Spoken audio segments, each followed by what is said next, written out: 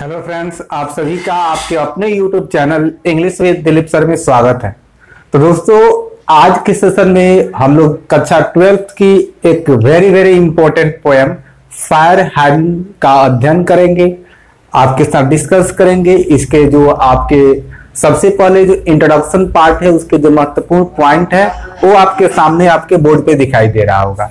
आपके ऑब्जेक्टिव प्रश्नों के लिए इनको जानना बहुत ही इंपॉर्टेंट है।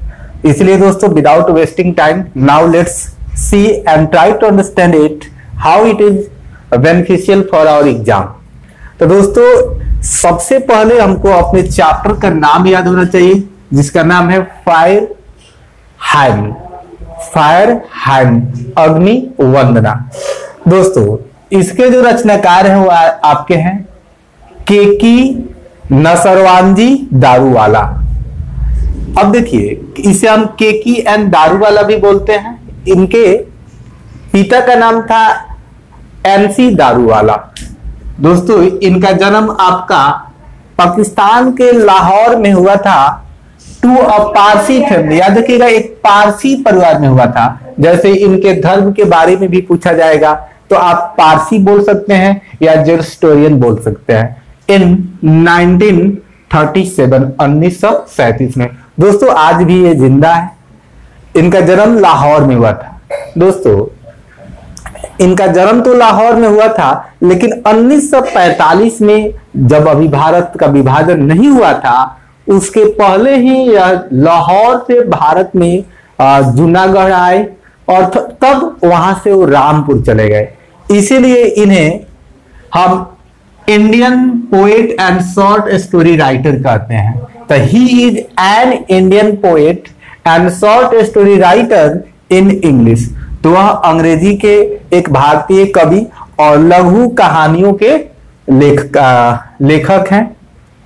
He is also IP an IPS officer वह एक इंडियन पुलिस सर्विस ऑफिसर है। मतलब वो अपनी से एक आईपीएस अधिकारी के रूप में भी अपनी सेवा भारत सरकार में दिए दोस्तों, अब इनकी बात करते हैं अवार्ड की। He was awarded the Sahitya Akademi award तो याद रखिएगा, इन्हें कौन सा पुरस्कार मिला था? साहित्य अकेडमी अवार्ड इन 1884 1884 में। तो दोस्तों, किस लिए मिला था? ये भी हमारे परीक्षा में ऑब्जेक्टिव क्वेश्चन के रूप में आ सकते हैं। फॉर हिज पोएट्री कलेक्शन उनके कविताओं के संग्रह के लिए। उनके एक काव्य के संग्रह के लिए, कविता के संग्रह के लिए, और दोस्तों, उस कविता का नाम है आपका the keeper of the dead याद रखिएगा the keeper of the dead तो इनको एक अवार्ड मिला था आपका the keeper of the dead इसके अलावा इनकी अवार्ड की हम बात करें तो इन्हें मिला था पद्मश्री। याद रखिएगा दोस्तों कीपर ऑफ़ द डेड के लिए मिला था इनको साहित्य अकेडमी अवार्ड।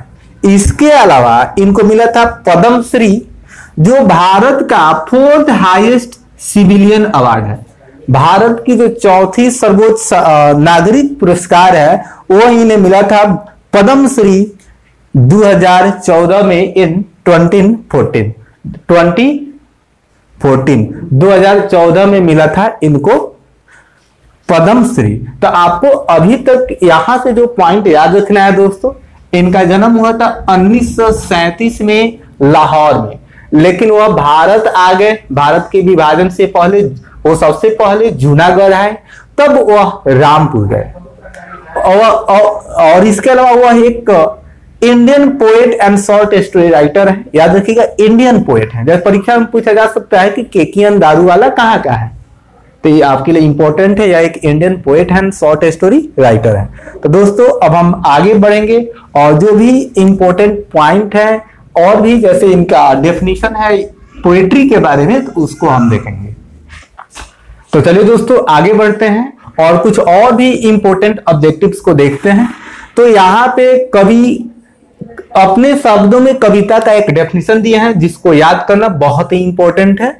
लिखते हैं कि his poetry is in is in his own words कविता उन्हीं के शब्दों में और totally impressionistic recording of subjective responses of है तो हिंदी अंत से निकलेगा। तो कविता उनके शब्दों में सब्जेक्टिव व्यक्तिपरक प्रतिक्रियाओं का एक पूरी तरह से प्रभावशाली रिकॉर्डिंग होता है। आगे बढ़ते हैं दोस्तों। The theme the themes of his poetry उनके कविताओं के जो विषय होते हैं ना, वो होते हैं आपके प्रेम, मृत्यु प्रेम मृत्यु, वर्चस्व दोष दर्शिता ऑफ़ है तो दोस्तों, हिंदी यहाँ अंत में चले जाएँगे। मानवीय समाज की दुर्दशा और हिंसा होता है। उनके कविताओं का विषय प्रेम मृत्यु वर्चस्व दोष दर्शिता मानवीय समाज की दुर्दशा और हिंसा होती है। यहाँ पे आर दोस्त, दोस्तों जो आया है ये आपके पोएट्री के लिए नहीं आया है ये आपके थीम के लिए आया है। थीम आपका जो नाउन है प्लूरल है तो यहाँ पे आर भी प्लूरल आएगा।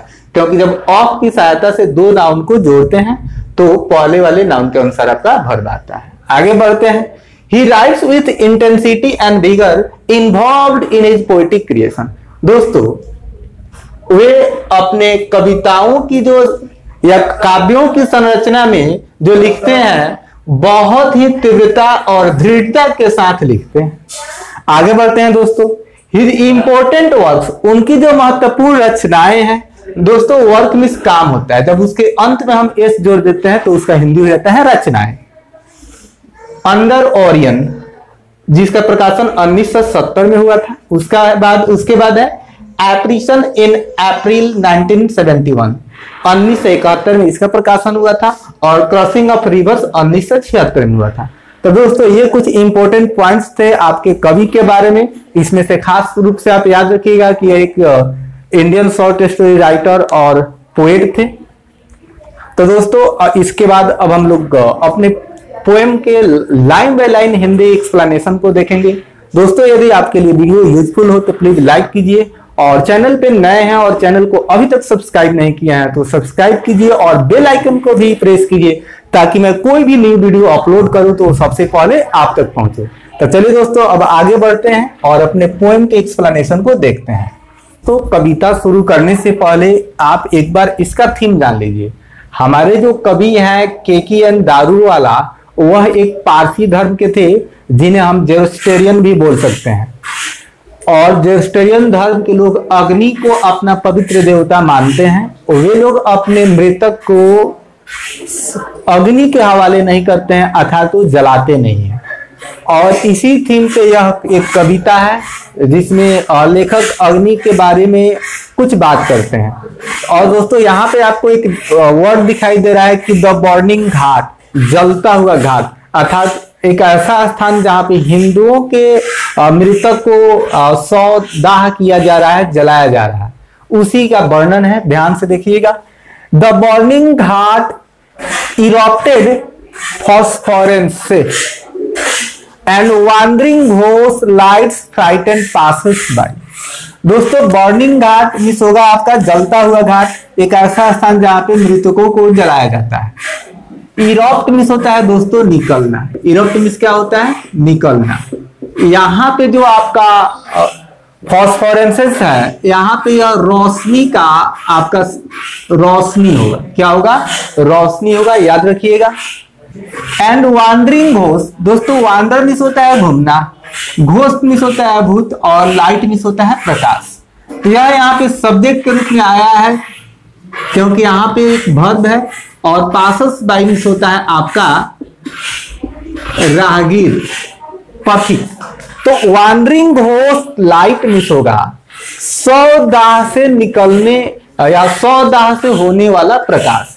अर्थात ये लाइट मिस प्रकाश होता है? घोष अर्थात जहाँ पे हम मृतक को जलाते हैं तो वहाँ उस स्थान से उसमें से कुछ लपटे उठती हैं, कुछ फ्लेम्स ऊपर होते हैं। तो उसी को लेखक ने वांडरिंग घोष लाइट्स कहा है सौ दाह से उत्पन्न होने वाला प्रकाश।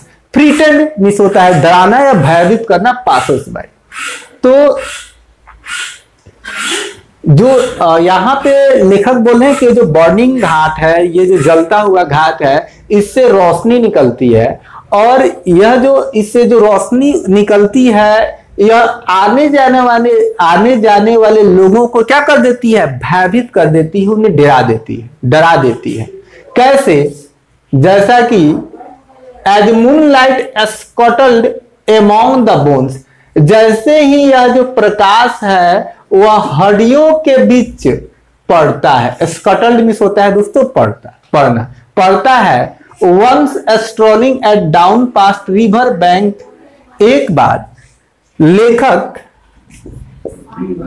अपने पिता के साथ एक सुबह में रिवर बैंक बैंक में होता है दोस्तों किनारा। एंड घाट, एक नदी के किनारे, एक घाट पर वो लोग टहल रहे थे। तभी का वे लोग Orissa embers losing their cruel redness हम लोगों ने एक अंगारे को देखा। अंगारा मिस अंगारा मिस क्या होगा दोस्तों? जब कोई आ, आपका कोयला जलता है ना तो जो उसकी लालिमा होती है वही होता है आपका एम्बर्स अंगारा। Losing their cruel redness red miss होता है रेडनेस मिस होता है लाली। क्रूएल मिस होता है क्रूर। तो लेखक यहाँ पे जो सौ जलते हैं तो उनके जो जलने की प्रक्रिया है तो वहाँ पे वो क्या है? एक अंगारों की तरह देखते हैं जो उनका हड्डी जलता है। उसकी तुलना किया है लेखक क्रूएल रेडनेस। तो याद रखिए कैसा रेडनेस? तो cruel redness. We saw embers losing their cruel redness to the grey ash वे लोग भूरी राख में बदल जाते हैं। टू द ग्रे एस कैसे? डैट ये जो ग्रे एस है, वो क्या कर देता है? स्वेलोज ऑल उन सारे क्रुएल रेडनेस से जो लालिमा है, उसको निकल जाता है भूरा राख। जैसे आपका जो अग्नि होता है तो उसके चारों तरफ़ से जो राख होता है, वो बढ़ता जाता है। तो लेखक उसी को बोलते हैं कि जो लालिमा है, उसको अग्नि राख क्या करता है? भस्म कर देता है निकल जाता है। Half cooked limbs half cooked limbs आधे जले हुए अंगों को। तो उसको भी लेखक क्या करता है? आधे जले हुए अंग क्या जब जब मृतक को जलाया जा रहा है तो उसमें एक जब जलता है तो क्या होता है? उसमें रोशनी होती है। बॉडी में क्या होता है? रोशनी होता है, प्रकाश निकलता है। और वही प्रकाश लेखक बोल रहे हैं वॉन्डरिंग होस लाइट आने जाने वाले लोगों को क्या करता है? डर, डेरा मतलब उन लोगों को भयभीत कर देता है। As moonlight scuttled among the bones जैसे ही प्रकाश हड़ियों के बीच पड़ता है तो उसमें से क्या निकलता है? आपका एक रोशनी निकलता है वही लोगों को भयभीत कर देता है। तो दोस्तों इस सेशन में इतना ही। और भी दो दो स्टेंजा बचे हुए हैं इस पोएम के, वो हम लोग अगले वीडियो में देखेंगे। तो दोस्तों वीडियो को अंत तक देखने के लिए आप सभी का शुक्रिया। Thank you have a nice